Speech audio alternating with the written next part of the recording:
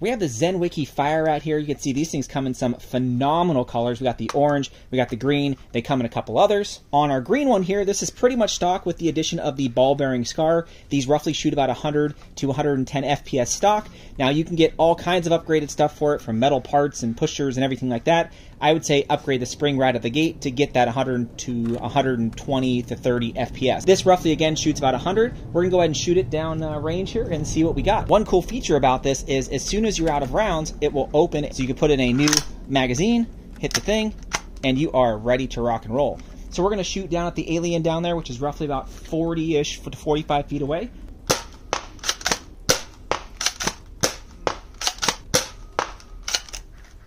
And there you go, check that out. So check out the main review on our YouTube.